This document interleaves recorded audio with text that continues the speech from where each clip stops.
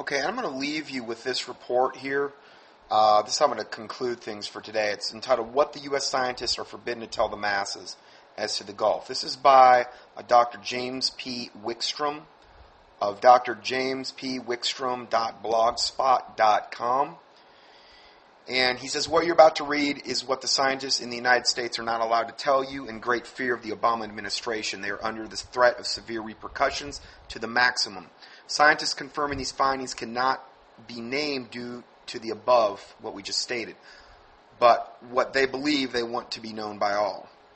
Take a U.S. map, lay it flat, and measure it inland just the minimum of 50 miles of total destruction all around the Gulf of Mexico, as what you'll read below will then make sense. The carnage to the United States will be so staggering it will take your breath away. Should what the scientists who are trying to warn everybody about is even uh, close to the truth, all of Florida will be completely destroyed, and everyone and everything on it. You decide. Everyone has the right to read what I have just written in this article, as well as what is written below. Uh, it starts out by saying, and again, I give you the link to this. Summary of what is happening. The estimated super high pressure release of oil from the Earth's crust is between 80 to 100,000 barrels a day. And again, there's a lot of conjecture on that. The, the flow of oil and toxic gases is it's bringing up with it rocks and sand, which causes the flow to create a sandblasting effect on the remaining wellhead device, currently somewhat restricting the flow as the well as the drilled hole itself. As the wellhead becomes worn, it enlarges the passageway, allowing an ever increasing flow. Even if some device could be placed into the existing wellhead, it would not be able to shut off the flow because what remains of the existing wellhead would not be able to contain the pressure. In other words, because it's eroded so much. The wellhead piping is originally about two inches thick. It is now likely to be less than one inch thick. The thinning and, and thinning by each passing moment. The oil has now reached the Gulf Stream and is now entering into the oceanic current, which is at least four times stronger than the current in the Gulf, which will carry it through the world within 18 months. The oil, along with the gases, including benzene and many other toxins, is deleting the oxygen in the water. This is killing all life forms in the ocean where it's present. Along with the oil along the shores, there will be many dead fish, uh, many dead animals, and this type of thing. At some point, the drilled hole in the earth will enlarge itself beneath the wellhead to weaken the area where the wellhead rests upon. The intense pressure will then push the wellhead off the hole, allowing a direct, unrestricted flow of oil through the hole. The hole will continue to increase in size, allowing more and more oil to rise into the Gulf.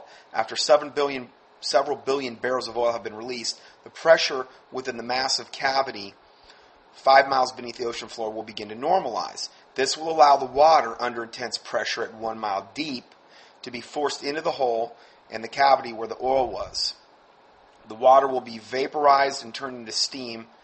Um, I guess they're saying that the oil that's coming out of there is, is um, very hot. Now, what I've seen on, if you watch even any of the regular feeds now, the oil that's coming out of whatever they're showing you, you can see fire. You can see literal fire. Uh, that it's like it appears for a second, then it goes away. It appears for a second, then it goes away in different parts of this of where the oil's leaking out of. And he's got another report on that, and I put that in there as well. That's a whole other factor. Um, five miles deep, you're seeing fire here. It's crazy stuff. But let's go further. The water will be vaporized, turned into steam, creating an enormous amount of force, lifting the Gulf floor. It is difficult to know how much water will go down to the core, and therefore it is not possible to fully calculate the rise of the seafloor. The tsunami wave this will create will be anywhere from 20 to 80 feet high, possibly more. Then the floor of the ocean will fall into the now vacant chamber where the oil was. This is how nature will see the, seal the hole. Depending on the height of the tsunami, the ocean debris, oil, and existing structures that will be washed away onshore and inland will leave the area from 50 to 200 miles inland devoid of life. Even if the debris is cleaned up, the contaminants that will be ground that will they'll be in the ground and the water supply will be will prohibit repopulation of these areas for unknown number of years. This is the end of these scientists' information release. This is what he got uh, from these these scientists that want to remain anonymous and for obvious purposes. So I'm going to leave you with that. These are definite things to be praying about. Uh, and you, hopefully you can understand where I'm coming from at this point, saying that you know, if, by all means, try to get out if you can. If the Lord's leading you to do that, uh, it looks as though Florida and any place near the coast is just going to be a very, very risky, volatile place to even think about being from pretty much here on out. And um, pray that if you don't have any doors, remember, the Lord can open the doors no man can shut, and shut the doors no man can open. So if you don't have any options, pray the Lord Jesus Christ gives you some options. He opens these doors that, and he can do it. I mean, he created the universe. He makes the sun burn and, and the stars burn, and, and, and it's, he's the reason the, the earth spins and that we have the right amount of oxygen and things in the atmosphere to live and the, how the earth has a tilt on it and how we have the seasons. And, you know, if he can do all that, there is nothing too hard from him. And that's what the Bible says. Call upon me and I will show thee great and mighty things which thou, know, which thou knowest not. I am the Lord, the God of all flesh. Is there anything too hard for me? He says that in Isaiah. No, there's not. You just have to have the faith to believe that that is the case. Faith is the substance of things hoped for, and the evidence of things uh, of things not seen. And without faith, it is impossible to please God. Faith cometh by hearing, and hearing by the word of God. So these are things that you need. And pray if you're not in this area. Uh, pray for those that are in there. Pray that God will open doors for them. Pray that that the Lord will will you know preserve the remnant there, and and that He'll provide a way out, and that He'll protect the innocent and, and the weak and the meek and the widows and the orphans and, and, and that many would actually end up even getting saved from this. What Satan intended for evil, the Lord would use it for good, that many would get saved and, and get right with the Lord. And there's a lot of positive things that typically come out of God's judgment. And although I do believe man created this event, um, if this is allowed to perpetuate and go to its logical conclusion, and this may be the logical ending conclusion, uh, it's going to be cataclysmic. Well, the, the, report I just read is what I meant. It, it's going to be cataclysmic.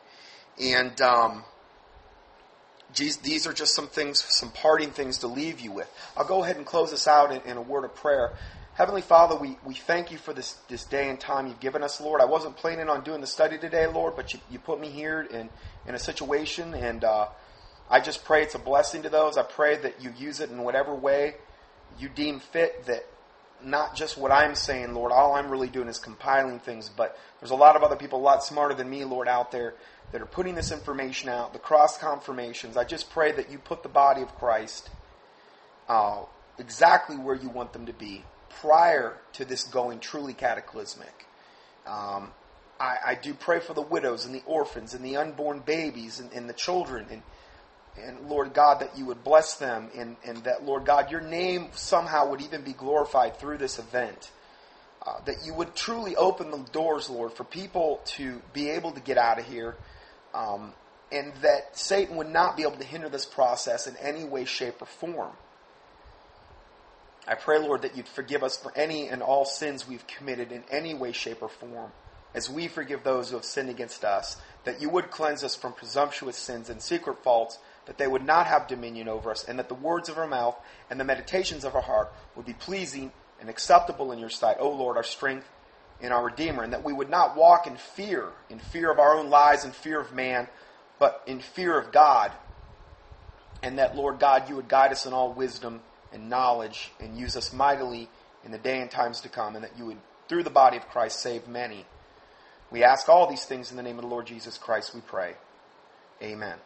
Oh, and one other thing I, I, should probably say is that I don't really know at this point. I wasn't even planning on doing the study today. I don't know when I'll be able to do another study. Um, if I'm able to get out of here this week, um, and it really depends what's going on with my vehicle. Um, if if uh, if I'm able to, to get out of here and, and implement this, you know, I'm not 100% sure when I'm going to be in a position to do another study. So if you don't hear from me for a little while, you know, just bear that in mind. And um, thank you for your prayers and your donations and your support. And uh, may the Lord Jesus Christ richly bless you. Thank you.